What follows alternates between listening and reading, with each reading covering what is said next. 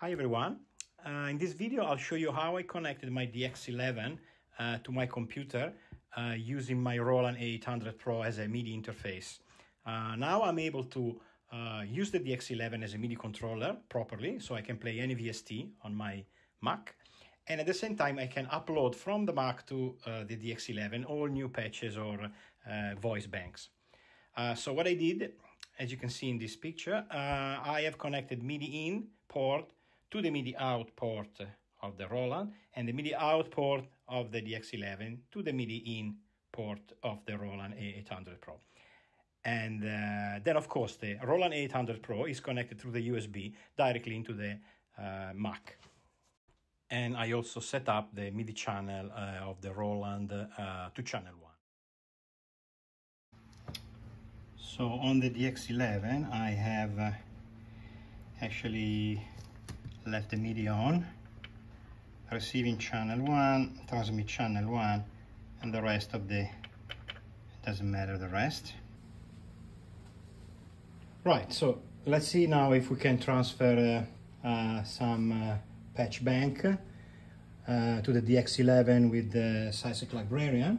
So first of all, we go into the memory protect and we put memory protect off. It's off, yes, that's good. Now we have this bus synth, we have this uh, patch bank on the uh, internal memory.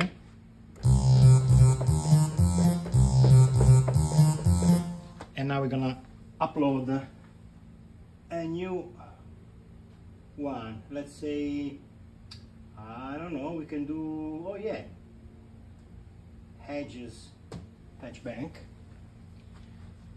Hedge 777. Hi Hedge, how are you? Ah, that's it.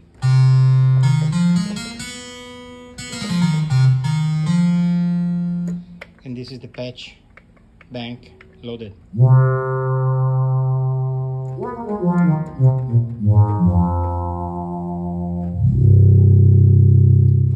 Okay, so now I will use the, the DX11 as a MIDI controller and play uh, OBXD patch uh, through Reaper.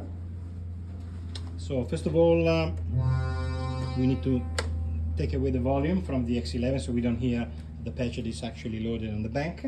And um, that's it. And this is the this is what we get.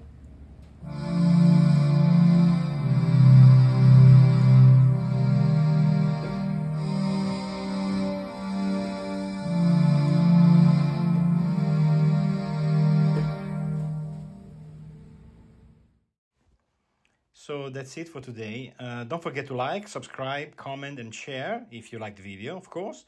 Uh, also let me know in your comments if uh, there's anything you want me to explore about the DX11. Uh, maybe I can make a video about it. Uh, the next video probably will be a double one. So the part one will be how to set up a three instruments performance uh, in the DX11 step by step. And part two will be using BlueARP MIDI arpeggiator VST to trigger these three different sounds on the DX11 and turn them into a song. Thank you very much for watching and I'll see you at the next video. Bye.